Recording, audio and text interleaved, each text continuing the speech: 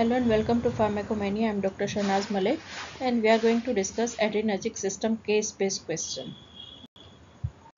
Here is a case of 44 year old female with type 2 diabetes uh, on insulin. Patient need to prescribe propranolol for prophylactic for chronic migraine. But propranolol is contraindicated in diabetes mellitus because propranolol causes hyperglycemia it causes seizure propranolol masks the hypoglycemic symptoms and it causes hypotension. So here is the best option is it masks the hypoglycemic symptoms.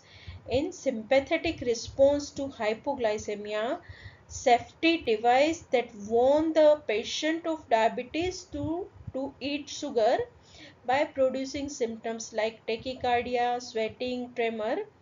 But Beta blocker mask these all symptoms and delay recovery from hypoglycemia. And if hypoglycemia is unnoticed by the patient who may suffer from hypoglycemic coma.